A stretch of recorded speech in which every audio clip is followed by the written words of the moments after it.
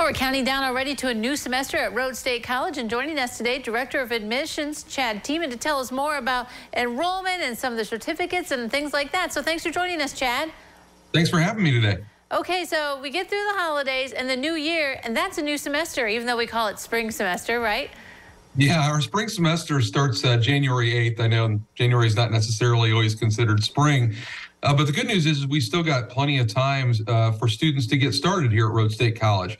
Uh, we've got a couple weeks here until we we begin our holiday break, and then we come back on January 3rd here. But we have a system in place where my student success navigators can assist any student in getting registered for their spring semester classes. Our application process is very quick and easy.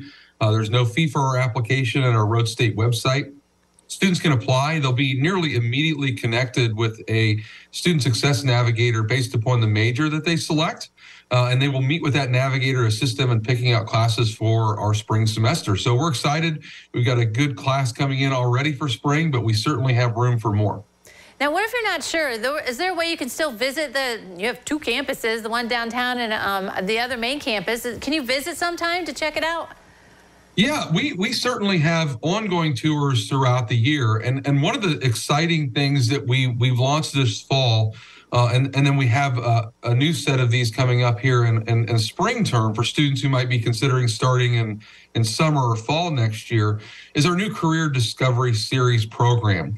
Uh, so we made it a, a, point to try to enhance the visit programs here at Rhodes State College, where, where students just aren't taking a tour of either main campus or the Borra's Center for Health Sciences in downtown, but they actually select a visit based upon the program they're interested in. So, for example, if a student was was interested in a nursing program, a career discovery series program visit would mean that they're actually visiting with the faculty for that program. They're typically doing a hands-on project utilizing our technology, getting in there to kind of see what it's like to be a student we have those programs available coming up this spring for every one of our associate's degrees. So students interested in engineering and business programs in any of our addictions and mental health studies, agricultural technology can come visit campus and get an experience with the faculty of that program and get an idea what it's like to be a student.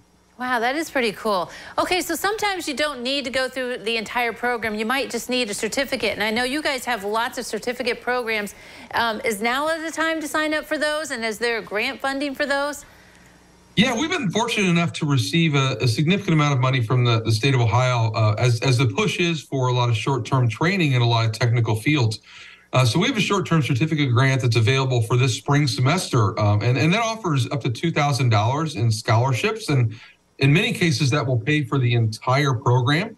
Uh, for example, our state tested nurse aid, uh, phlebotomy, medical billing and coding, uh, just to name a few of them that we have where a student can, and, really everybody's eligible, can apply for that grant and receive that $2,000 to help them get started. And they can typically complete those programs in one or two semesters.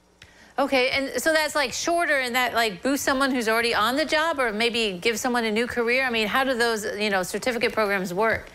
Yeah, it could be both. Some of them, you know, standalone certificates. You're looking to start a new career. Uh, we can get you involved in one of those short-term certificates to get you out there. And, and, you're right. Some of it's incumbent worker training. So they're already in the field. Maybe they want to brush up their knowledge. Maybe they want to add a little skill to what they're already doing. These short-term programs allow them to do that in a very short period of time. All right. Some really great things in the new year at Rhodes State College. Chad, thanks for joining us today. Thanks for having me. All right. Don't go away. Noon Edition continues in a moment.